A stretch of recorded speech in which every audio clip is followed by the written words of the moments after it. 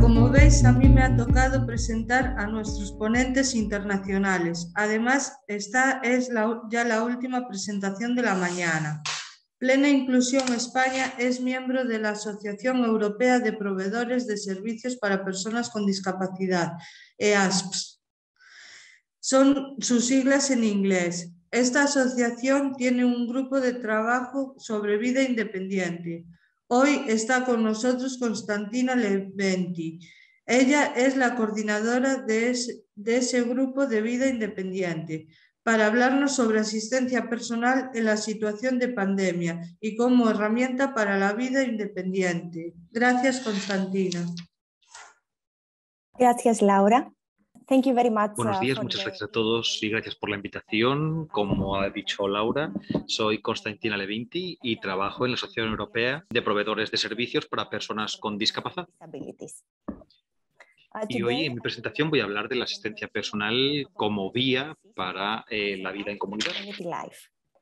However, before starting, I thought to share with you some information about Pero antes de empezar, me gustaría dar un poco de información de nuestra asociación, eh, EASPD. Tenemos sede en Bruselas y nuestra asociación es clave en- a nivel europeo porque representamos a 17.000 profesionales eh, o proveedores de servicios sociales. disabilities across Europe. Uh, EASPD works uh, uh, to promote uh, En EASPD trabajamos para la igualdad de oportunidades y lo hacemos defendiendo servicios de alta calidad, eh, eh, tal y como viene en la Convención Europea de los Derechos de las Personas con Discapacidad. persons with disabilities.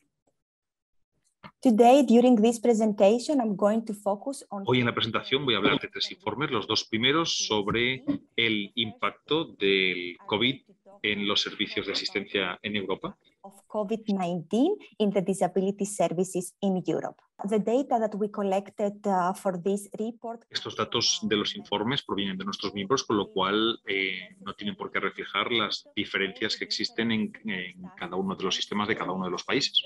in the different countries. I will also present to you briefly a report También voy a presentar un informe que encargamos en EASPD sobre mejores prácticas en la institu- institucionalización de personas con altas necesidades. high support needs. Uh, first of all, uh, during uh, the first En el- este primer informe que vamos a comentar, eh, que generamos en abril de 2022, vimos que los servicios residenciales seguían abiertos, pero con una muy importante tasa de infecciones y de mortalidad. with extremely high rates of infections and deaths. Other forms of support Otras to formas de apoyo, desgraciadamente, tuvieron que cerrar y esto dejó a millones de personas con necesidades sin tener acceso a los servicios que necesitaban.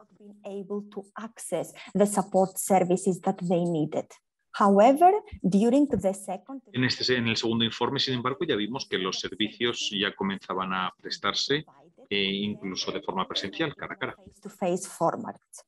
From the summer of uh, 2022, uh, A partir del verano de 2022 vimos que los proveedores de servicios también tenían más acceso a equipos personales de protección, que también contribuyó a que volviesen a prestar sus servicios. were also able to uh, start uh, again providing their services. At the same time, we also saw that they Al mismo tiempo, también vimos y pudimos observar que empezó la transición hacia la prestación de servicios online por Internet y se utilizaron distintos medios para ello.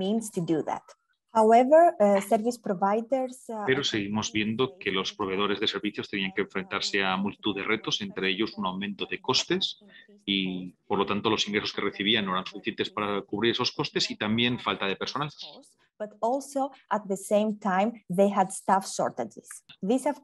Pero estos no son retos nuevos, llevamos ya muchos años con estos mismos retos en el sector, pero eh, fueron, bueno, empeoraron durante la, durante la pandemia de la COVID y además muchos de nuestros miembros eh, vieron o sintieron miedo por si iban a ser capaces de dar continuidad a sus servicios.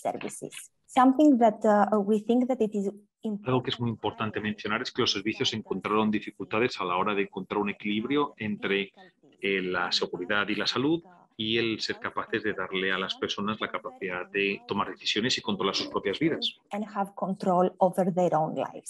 During the time of the pandemic, En- durante, bueno, durante la pandemia se dio más importancia a la protección y por lo tanto las personas tenían menos eh, opciones y posibilidades y menos control sobre sus vidas. Por ejemplo, en las oficinas y los servicios de empleo, algunas veces las familias eh, decidían si eh, se podía asistir al puesto de trabajo o no. whether the person could go back to work or not. When it comes now to the second report that we put together, Y el segundo informe que encargamos investigadores externos sobre, sobre la transición de la vida en instituciones a la vida en comunidad. the from institutions to community living.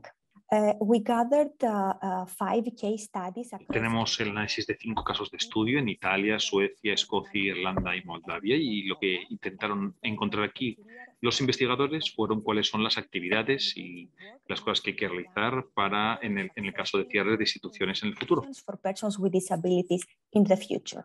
This study focused uh, on persons with high support needs. En este estudio se analizaron sobre todo personas con eh, eh, altas necesidades de apoyo y también el uso de la tecnología para apoyar la vida independiente de las personas, eh, la vida en comunidad, de acuerdo con la Convención sobre los Derechos de las Personas con Discapacidad. on the rights of persons with disabilities. From this uh, report, but also from uh, other A través de este informe y otros trabajos que ha realizado EASPD a lo largo de los años, hemos redactado ocho recomendaciones para la transición de las personas con discapacidad hacia una vida en comunidad. community life for persons with disabilities. First of all, we need to start from the perspective of persons En primer lugar, tenemos que ver, eh, bueno, empezar por el enfoque de las personas y las familias. Tenemos que capacitar a las personas y a las familias e incluirles en el proceso de evaluación a través de herramientas de evaluación centradas en eh, las personas. Uh, assessment methodologies. This way, we will be able to identify De esta forma podremos identificar las necesidades, los deseos, las preferencias y los sueños de las personas para desarrollarlos también en los servicios de apoyo. Pero tenemos que eh, incluir a las personas con discapacidad en el desarrollo de los servicios eh, de apoyo, creando así los elementos a través de una coproducción que incluya a las personas, a los proveedores de servicios y a las autoridades en el desarrollo de servicios para las personas con discapacidad. to develop the support system and services that are needed. Also, we need to focus on developing uh, the support system. También tenemos que centrarnos en un enfoque que se base en los derechos humanos. Ya mencioné anteriormente el riesgo que vivimos durante la pandemia de encontrar un equilibrio entre proteger a las personas y capacitar y, y dar opciones y control sobre sus vidas a, a las personas. Empowering, empowering them in making decisions. We need to recognize that persons with Tenemos que reconocer que las personas con discapacidad tienen derechos, tienen el derecho a ejercer sus libertades y a ejercer también el control sobre sus propias vidas. control over their life. When it comes to the support Cuando hablamos del sistema de apoyo, eh, para conseguir dar más apoyo a la vida independiente de las personas, tenemos que tener un sistema eh, que sea más flexible y que pueda incluir, aparte del apoyo formal, eh, elementos de apoyo informal. informal type of support. The use of technology is very important to further El uh, uso de la tecnología es muy importante para apoyar la vida independiente, pero las tecnologías avanzan extremadamente rápido y las personas a veces no desarrollan las habilidades al mismo ritmo. Por lo tanto, tenemos que trabajar para es- eh, que las personas cuenten con estas habilidades para poder utilizar la tecnología. Debemos de, de tener además un, o desarrollar un enfoque completo, holístico, y qué queremos decir con ello, pues que tenemos que desarrollar sinergias entre los distintos ministerios, distintas autoridades, distintas partes involucradas para eh, aumentar su nivel de compromiso con eh, la vida en comunidad. Then we need also to develop uh, uh, services and support También tenemos que desarrollar servicios y sistemas de apoyo que estén bien arraigados, que formen parte de la sociedad y en muchas ocasiones vemos como en las zonas más apartadas o en zonas rurales eh, hay muchos de estos servicios que no están disponibles. that many uh, available services.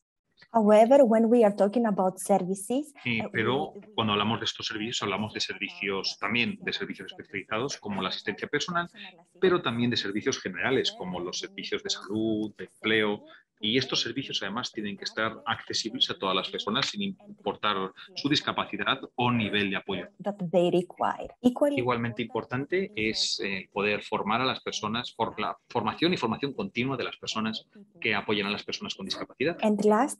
y por último, pero no menos importante, la financiación. Muchas veces se ve la financiación como un elemento neutral, pero sí que puede tener un impacto en la forma en la que se desarrollan los servicios.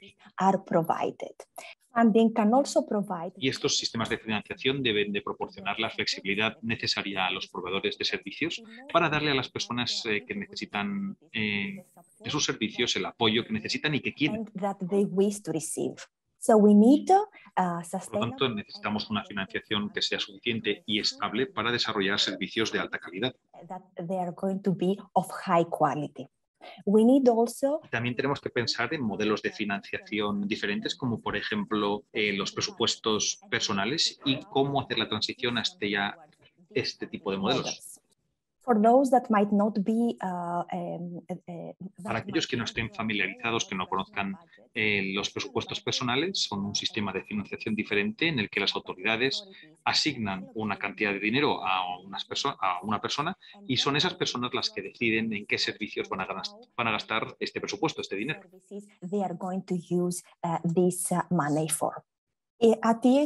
En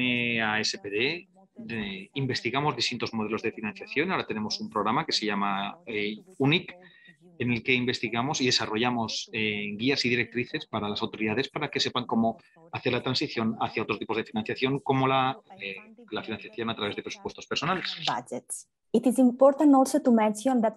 Es muy importante decir que los presupuestos personales colocan a la persona que lo recibe en el centro de todo el proceso, les permite organizar mejor el apoyo que quieren recibir y que van a recibir, ajustarlo a sus necesidades y les permite además eh, eh, mayor capacidad de control sobre sus vidas.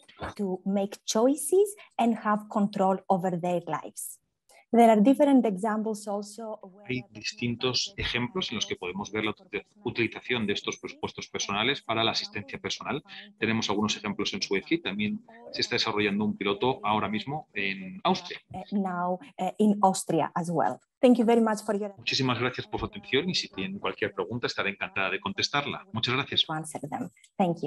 Gracias, Constantina, por tu brillante presentación. A continuación, dejamos unos minutos para preguntas del público. Thank you, Laura, as well. Gracias, Laura y Constantina. Parece que no hay preguntas. Si de todas maneras alguien se queda con alguna duda que quiere transmitirlo a Constantina, puede enviárnosla por la dirección de email que están compartiendo.